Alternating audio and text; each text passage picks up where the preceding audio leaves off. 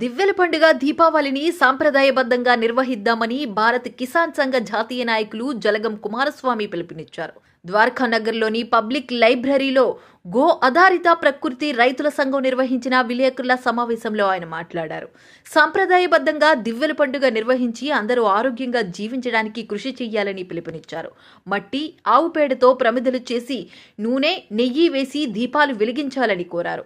అత్యంత శబ్దం వాయు కాలుష్యము కలిగించే చైనా దేశానికి చెందిన బాణాసంచాను కాల్చి అనారోగ్యం తెచ్చిపెట్టవద్దని కోరారు. ఈ కార్యక్రమంలో వ్యవసాయ శాస్త్రవేత్త అశోక్ కుమార్ మాట్లాడుతూ పత్తి పంట పండిస్తున్న రైతులను ఆదరించి వారు పండించిన దూదివత్తులతో దీపారాధన చెయ్యాలని పిలుపునిచ్చారు. ఈ కార్యక్రమంలో గో ఆధారిత ప్రకృతి రైతుల సంఘం ప్రతినిధి సిహెచ్ మురళీధర్ తదితరులు పాల్గొన్నారు. అశోక్ కుమార్ అగ్రికల్చర్ సైంటిస్ట్ గో ఆధారిత వ్యవసాయ సంఘం విశాఖపట్నం. ఈరోజు మనం దీపావళి సందర్భంగా జరిగే వాయు శబ్ద కాలుష్యాల గురించి మాట్లాడుకోవాల్సిన అవసరం ఎంతైనా ఉంది. ముఖ్యంగా క్రాకర్స్ అవి కాల్చడం వల్ల జరిగే శబ్ద కాలుష్యం అతి ముఖ్యంగా వాయు కాలుష్యము వాయు కాలుష్యం ద్వారా మన గాలి నీరు భూమి అనేక రకాలుగా చేటు జరుగుతుంది కాబట్టి అది జరగకుండా చూసుకోవాలంటే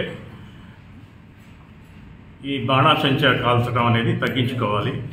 తద్వారా మనకి ఏం జరుగుతుందంటే ఇది వాతావరణంలోకి వెళ్ళిపోయి వర్షాలు కురవటం ద్వారా ఆ వర్షాలు నీటిలోకి వెళ్ళి ఆ నీటి ద్వారా విత్తనాలు మనం నాటితే వచ్చే కూరగాయలు కానీ ఫలాలు కానీ వాటి ద్వారా తిరిగి ఇవి మన శరీరంలోకి ప్రవేశించడానికి వంద పర్సెంట్ అవకాశం ఉంది కాబట్టి ఈ కాలుష్యాన్ని పూర్తిగా తగ్గించుకొని మన ఆరోగ్యాన్ని పెంపొందించుకోవాల్సిన అవసరం ఎంతైనా ఉంది. కాబట్టి శబ్ద కాలుష్యం వాతావరణ కాలుష్యాన్ని పూర్తిగా తగ్గించడం కోసం విశాఖ వాసులు ఆంధ్రప్రదేశ్ వాసులు అందరూ ప్రయత్నం చేస్తారని తమ ఆరోగ్యాన్ని కాపాడుకుంటారని దీని ద్వారా విజ్ఞప్తి చేయడం జరుగుతుంది. ధన్యవాదాలు.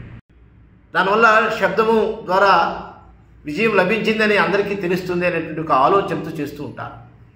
అయితే మన సంస్కృతిలో దానికంటే ప్రాధాన్యతను దేనికి ఇచ్చారంటే జ్యోతిని వెలిగించి ఆ వెలుగు ద్వారా ఈ యొక్క విజయం లభించింది అని చెప్పడానికి చేస్తే బాగుంటుందనే విషయమే మన వాళ్ళు మన పెద్దలు మనకి ఇచ్చినటువంటి ఒక ప్రధానమైనది.